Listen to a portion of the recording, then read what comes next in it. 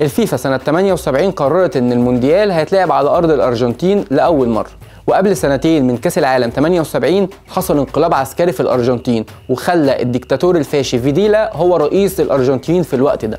عشان خاطر يشوف إن فوز الأرجنتين بالمونديال في الوقت ده هيبقى في صالحه مش ضده. لأن هو كان شايف إن فوز الأرجنتين بالمونديال ده تحديدا هيزود شعبيته في الأرجنتين كلها خصوصا إن الشعب الأرجنتيني بيتنفس كورة حرفيا. والفكرة سيطرت عليه لدرجة إن هو استخدم ألاعيب سياسية وألاعيب من تحت الترابيزة عشان خاطر يوجه بعض المنتخبات الكبيرة ما يخلوش لاعيبتهم يشاركوا في المونديال ده. والبطولة دي تحديدا شهدت غياب نجوم كتيرة جدا لأسباب مجهولة زي نجوم في منتخب فرنسا وإيطاليا وهولندا. لكن أبرز الغيابات دي كان لصالح يوهان كرويف نجم المنتخب الهولندي وقتها. اللي طلع كرويف وقال ان بسبب المونديال ده حياته هو وأسرته كانت معرضه للخطر بشكل كبير جدا لدرجة إن هو اعتزل دولي في المونديال ده بس ومن بعديها رجع يلعب تاني مع منتخب هولندا بشكل طبيعي. وفي البطولة دي الأرجنتين والبرازيل كانوا بيتنافسوا على بطاقة الصعود للدور الثاني في كأس العالم. والأرجنتين كان عندها مباراة قدام بيرو الناحية الثانية البرازيل كانت هتلاعب بولندا. وإثارة الجدل بدأت من هنا. لأن البرازيل طلبت من الفيفا إن الماتشين يتلعبوا في نفس الوقت.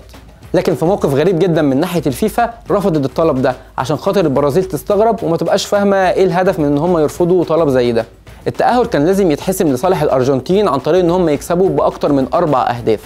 وفي مباراة الأرجنتين وبيرو اللي انتهت بنتيجة 6-0 لصالح الأرجنتين النتيجة اللي مشكوك فيها تم اتهام حارس بيرو بأن هو كان مفوت الماتش. ولاعيبة بيرو طلعت اتهمت الحارس بشكل علني أن هو استلم رشوة تحت الترابيزة عشان يفوت الماتش. ولما دوروا ورا الحارس ده اكتشفوا أن هو أصلا أرجنتيني واتجنس قبل المونديال عشان يلعب لصالح بيرو. لكن الحارس طلع نفى أكتر من مرة وكان بيقف مع الصحفيين لما حد يسأله عن نتيجة الماتش ويبرر له سبب دخول الست أهداف هدف هدف. عشان الناس كلها تشكك في أحقية الأرجنتين بالفوز بمونديال 78 ولحد النهارده الناس بتقول إن فوز الأرجنتين بالمونديال ده كان مترتب.